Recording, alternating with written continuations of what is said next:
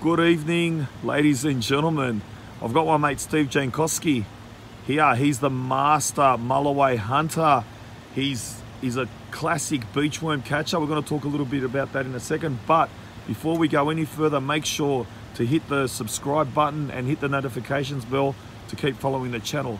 Now, Steve, give us Yes. a little bit of a background uh, about yourself. You're a sponsored angler by EJ Todd. Yes. Yes. And what's the plan tonight? I can see you holding that lovely rod there that I bought off. Uh, I bought the other week. What's what's that rod? The NS Black Hole. NS Black Hole Surf. Uh, it's only a new addition to the NS range, so it's a 1202, 10 to 20 kilo surf rod. Um, very good casting, uh, very light, very durable for uh, for drift fishing. Nice line on it. I mean, I use uh, what line you using? You're a mono guy. Sunline. Yeah, Sunline.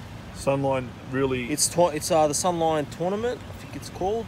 With obviously the shock leaders, the um, the Sunline shock. I think it's called. yep. So it's pretty much yeah, all Sunline. I love the patterns in this. I actually I actually got myself one of these rods, and um, I'm still yet to catch a mulloway on it. I've tried about two times.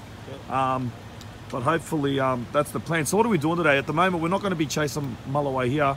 We're going to be going up the coast. That's right, correct. Okay, so this video is basically on catching some bait that a lot of people won't really use, um, that, or they're not familiar with using it. So we're going to actually be targeting beach worms today. Um, and from what I hear, you're a bit of a master. I'm all right. We'll, Yeah. we'll get the we'll get the beach worms up and um, show everyone how it's done. Okay, so what we'll do is uh, we'll get this rod back in the car. We just Yep. wanted to sort of show them what sort of setup you're using. Um, and mate, and uh, yeah, let's go get our hands on these beach worms and get our feet wet. Uh, just another interesting question. Um, do you think that night time's a better time to chase these um, these beach worms? Look, night time less crowd. I mean, depending on the tide, the tides could be a bit small in the night, so you know, worms tend to pop up more in the night. So Okay. yeah. And what what particular tide are you looking at? The lower tides? Lower tides, yeah, like the 0.4s and 0.5s, anything lower than that. And what about the time? Um, what about the time? Two hours before the low tide and two hours after, or Uh, two hours going down to the low tide and two hours coming up on the high uh, to the high tide. That's it. Okay, no worries. All right, all right, Steve, mate. Uh, giving you a bit of an intro. Let's uh, let's get down there to the beach and uh, let's get our hands on um, Let's go let's get these worms. Sweet. So what we've what we've basically got here is Steve's just getting ready. He's going to fill up the bucket with water. Pay close attention to this because I, saw a mulloway caught up, you know, on another beach um, a while ago, and it was caught on beach worms, and it was caught in the shallows, and I was quite surprised because, and, and that's the one thing I've been chasing mulloway for about 20 years. To see someone pull in a 105 centimeter mulloway out of you know basically knee deep water was a surprise to me, and it kind of it tends to raise a lot of question marks in what I've been taught. And um, so the idea here is with Steve, and Steve's kind enough to show us his tricks, uh, is to get onto these beach worms and um, and like I said, we're not gonna I'm not gonna be able to go up with him up the coast to chase these mulloway, but um, you know it's basically another alternative for bait, and this might come in handy for a lot of guys that are chasing. Um, that are chasing dewies that can't get their hands on squid or can't get their hands on yellowtail. And you can obviously, you know, if you're cashed up, you can always buy them as well. So anyway, we'll keep going. Okay, Steve. So let's let's see what gear you're using here. Right. What the hell is that? So the pick of the fish is um, Speak louder because of these waves. It's called a smoke kipper, so it's similar to like a smoke herring. Um, you can buy them in two packs. Two, louder, two, two fish like this you can buy in Woolies. Um, not expensive, probably looking at about the six dollar mark. That's our bait tonight for the beach worms. So how this is going to work is cut the head off, head goes off, tail goes off. Don't need that.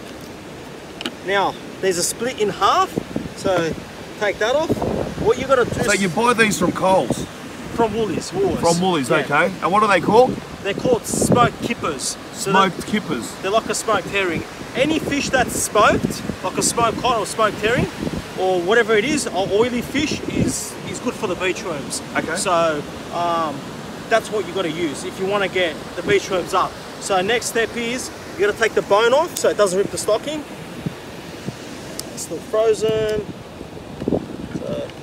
So dip it in a little bit of water, Just gonna thaw it out. pour it out a little bit, yeah. Uh, gotta speak up to me. Yeah. Let it pour out a little bit. And you'll take the bones out. That one's fine. Okay, just plonk that one. Just plonk that one in the So stocking for now. what you're gonna do is you cut it up in pieces. Louder. So cut it up in pieces, not in big pieces, in smaller pieces. Usually one fish is enough for the whole night. So one fish enough for the whole night. Yep. Whole night. Take the bones off like that.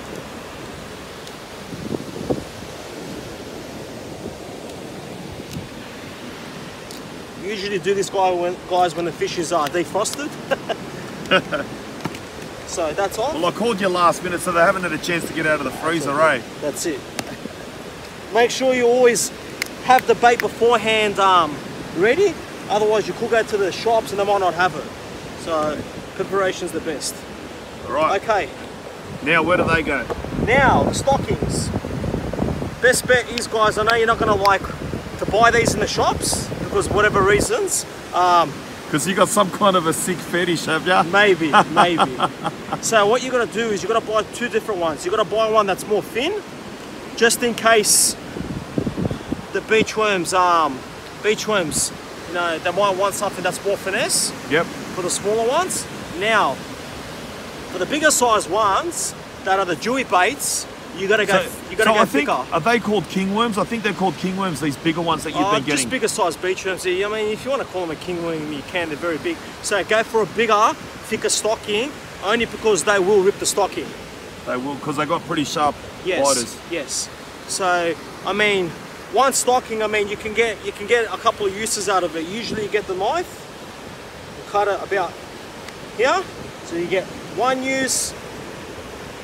You get about two to three uses out of it, maybe even four, just depending how long the stocking is. I mean, you tend to find the bottom part of it's the best part. So, you know, Let's go. as I'll show you now, put in the stocking.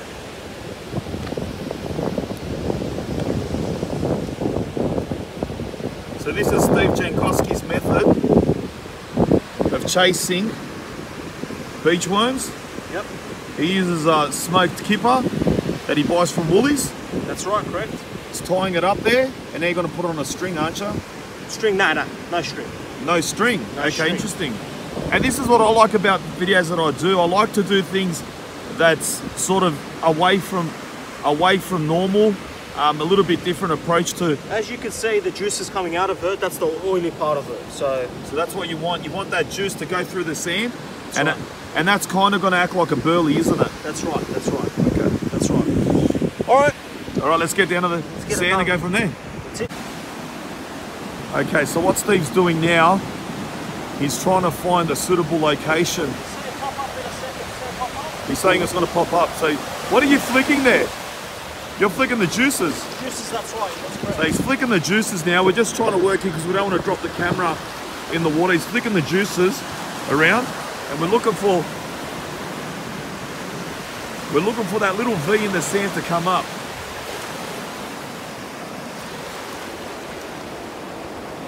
Is there one there?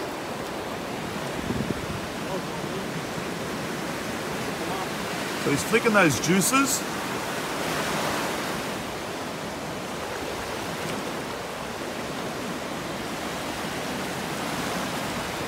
I think I saw one just here. I saw one just here, buddy, just here. There's one just there.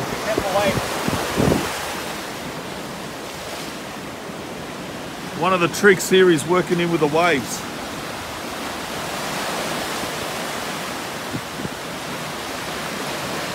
So the idea here is instead of working, basically instead of working your stocking left to right on a rope, is to squeeze that, to squeeze that little um, stocking bag and flick the juice everywhere.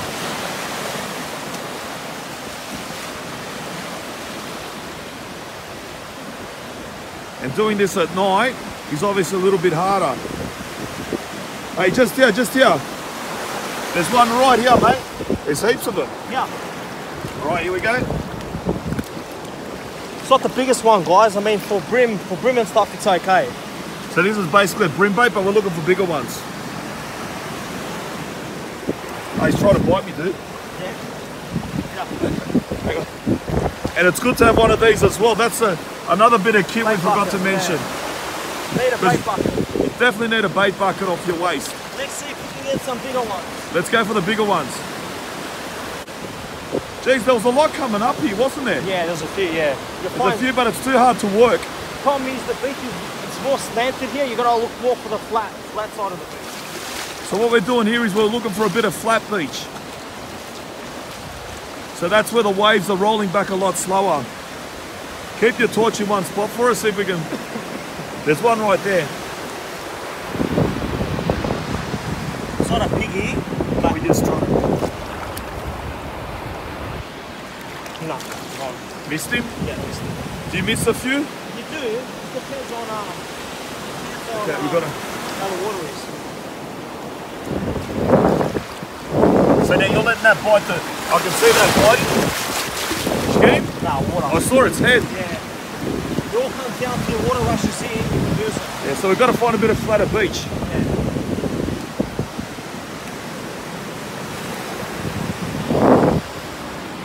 No. And you got to be careful where you step, just in case you step on the worm, because the, the worm, it, it's vertical to the beach. So it's horizontal. We've got one right there.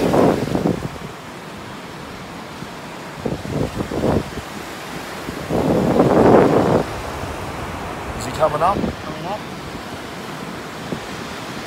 You see, oh, no, I've got really good footage of that, man. Still there. You can see him lumping up. You can smell the herring. Hopefully it comes back up.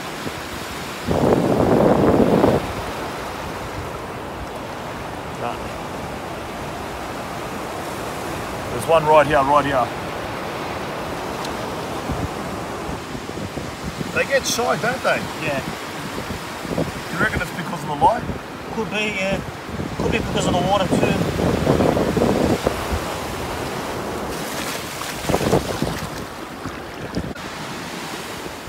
Ah, I've gone. They're very finicky tonight.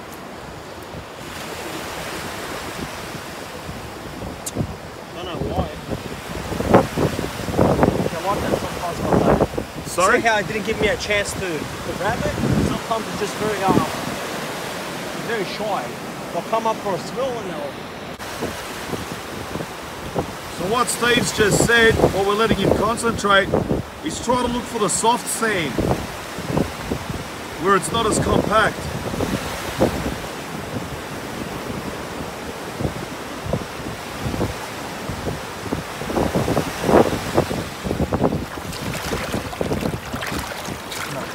Missed him?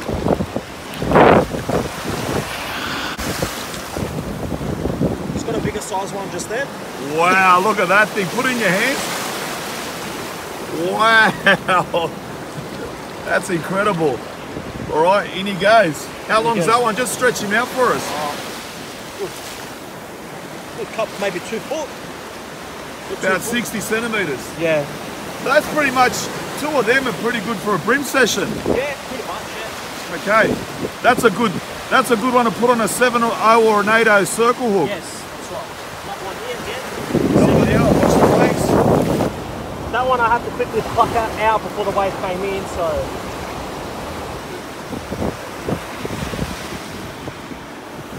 He's gone. Gone back the other. Nice hit.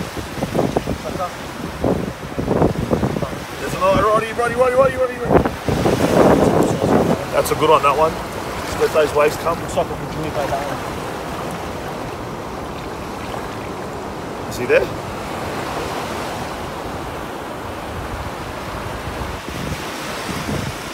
Yeah. Look at look how thick that mammoth is. Show us the girth of it. Wow, Yeah. amazing. you were digging and digging on that yeah, one. It's.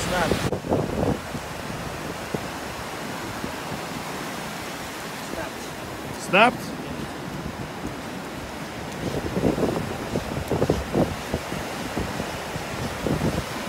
Still a nice one, so you're trying to dig it out. Okay, that's not a bad one. These are more for the for the whiting. They're more of a red worm. That is a red one, isn't it? Yeah. But that's probably only a quarter the size of it.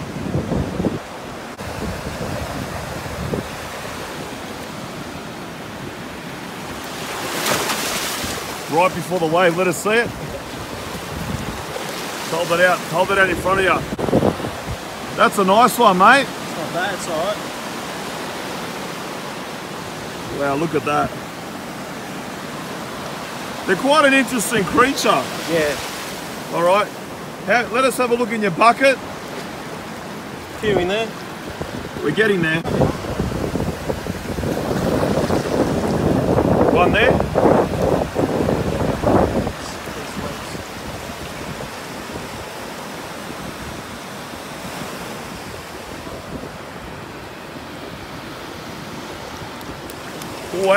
Wow.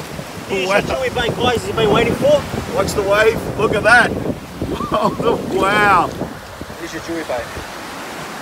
Show us how thick that is. Look at that. It's thick. Let me just. Wow.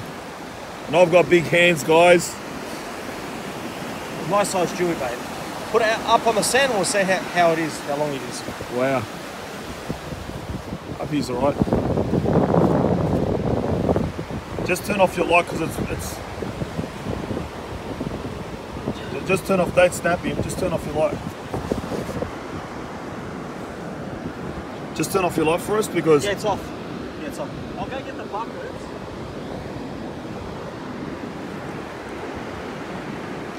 Now, in a nutshell,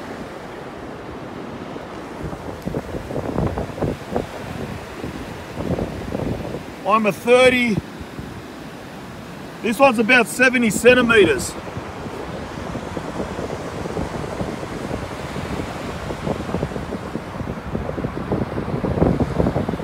Quite a nice size specimen.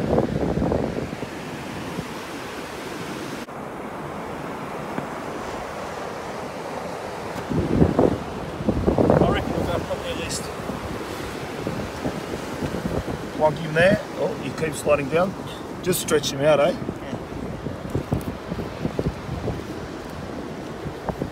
Stretch him out. So he's, you got him out there? 80, 80, s- what's that, 85? Yeah, about 85.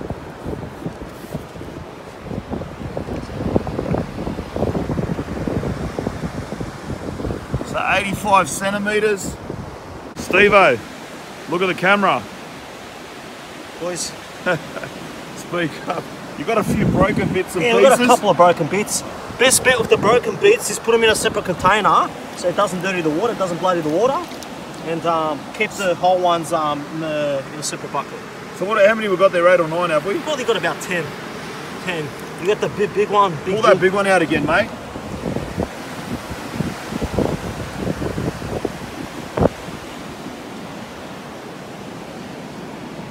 Wow, that's huge. You look, you look at that compared to an average size one, and the difference is massive. So there, there's a size, there's a size comparison. So put a small, a smaller one in one hand and your big one in the other. So, Just snap. Just broke. oh, he broke. Yeah, they broke. They break. That doesn't matter. So that's the fruit of our labour. Wow. It's not bad. About 15, 15 good ones. Some big ones in there. and There was an 85 centimeter one as well, but I'm not putting my hand in there. And I can, we can notice that that water's turning red. What's the reason for that? Look, the water's turning red because um, the bigger size one that uh, broke off is um, bleeding slowly, which is making the water go red color. If I can find the red one, which is not that one, It's a big one too. that's another big one. Yeah. So basically, once they break, they, they leak out blood and, and it affects your water quality. So it's probably a good idea to keep your broken ones in a separate This plastic one, bag. Yeah. As it breaks, it um, contaminates the water, it goes a red color. So the the ones that break off, you're better off putting them in a separate container and keeping them together. All right, and you can freeze those ones, eh? Or you can freeze them. You can just keep changing the water maybe every maybe six seven hours. It should be and right. um, they should be all right for 24 to 48 hours. Okay, hang on a sec. Let's go. Let's just rig ourselves up. Okay, nice work there, Steve. Thanks, mate. So what do we got? Just stretch him out as much as you can without breaking him. Wow. Good Good. one. That's one of the good one. That's one of the better ones. Okay. Yeah. Well, you know what? I'm going to take a couple of these and I'm going to go um, chase some bream tomorrow. Yeah. So I'll keep them alive. That's it. Um, and you know what? Uh, so If you want, if you don't want to keep them in a bucket of water, just get some dry sand. Uh, keep them in a cool place, even in the fridge too. You can keep them for about 24 to 30 hours in the fridge. Steve, thank you very much. So um, tomorrow night, Tomorrow night we go for a Dewey session. all right, we, you going to tell us where you're going? Uh, No, nah, not really. not really. Okay. Secret. Well, look, we've got the bait. Um, basically, they're they're all there, and we're going to try catching mulloway on beach worms. And That's um, correct. let's go. Let's go to bed, have a sleep, Have a sleep. go to work tomorrow, and Bait's then ready for tomorrow for some Deweys, and hopefully we can uh, crack a good sized Dewey. hopefully, what do you reckon? We can get a meter plus at least. Oh, with the worms we got, should be should be able to. Yeah. yeah All right, no worries. able to meet up. So let's just cut back to the technique with these. I noticed when you were squeezing that little that little sock, Yep. you kind of had your little your middle finger. You're sort of sticking it into the sand, and you're actually trying to to break To break the. Oh, yeah. You're basically trying to get stick that finger up underneath. So that was your second hand. You, you've grabbed it with a, with the stocking and your right finger, and then you've gotten it under there and you've cut it away, That's and that kind of that kind of ruins their momentum of going it- down. It, it, it sort of pins them between, you know, you know, I squeeze the sand and then I've got the finger underneath that goes under and it sort of pins them and then you pull them out. So it's you sort of. It's a te- I don't think I don't think we're, we're- I don't think we can teach this technique. It's No, you got to learn it. okay. You got to learn, and I think at the end of the day, I think it's probably best like us. What we did tonight is have a few practice sessions. Don't go bringing your rods and stuff. Focus. Have a few Even goes. if it's in the daytime, you know, get get get used to the surroundings, see how the water is. Um, you'll figure out, you know, with the tide going low, is probably better. Yeah, the, two. the, the, t- the two hours before the tide's definitely better because we had the tide rising there. That's correct. Which Um, made it a bit difficult. I, I, I couldn't I couldn't catch a worm to save my life tonight. So um, the tide kept rising, and what you want is you want the sets of waves They've not to be more too big. slower. A slower, yeah. slower so basically, not as big. Yeah. Smaller tide, like a 0.3 or a 0.4 is better. I think tonight it was 0.8, 0.9, which is, you know, it's a bit high. You know, even with the tide coming up, it'd probably even be higher. So, Okay. So you want an extremely low tide and you want a small swell and you want those waves to be Yes. further apart from and each the other. If they're close to be more flatter. It can't be. Um, it can't be. Uh, you don't want a steep you don't want a steep slope, you want a, a, a, a slow Yeah. sloping And try looking for the softer patches, just Of to, sand. just to get used to getting the worms, and then obviously after you learn to get the worms in the softer sand, you try in the harder sand. Okay. So, No worries. All right, mate, it's time for bed. time for bed. Let's uh we'll see everyone on the other side of this when we've got No these worries. these baits out in the water on our um on our NS Black Hole beach rods. That's correct. All right, I can't wait to use mine. Let's go. Let's go.